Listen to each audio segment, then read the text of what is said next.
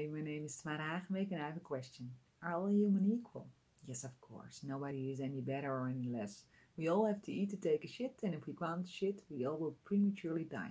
This also counts for people with a white, yellow, or black skin, or if you're thin, thick, rich, or poor. It's just like the slogan that was promoted for decades in the Netherlands for the toilet paper brand Popla of Kimberly Clark. King, Emperor, Admiral, Popla is no male. Till the next question. Bye.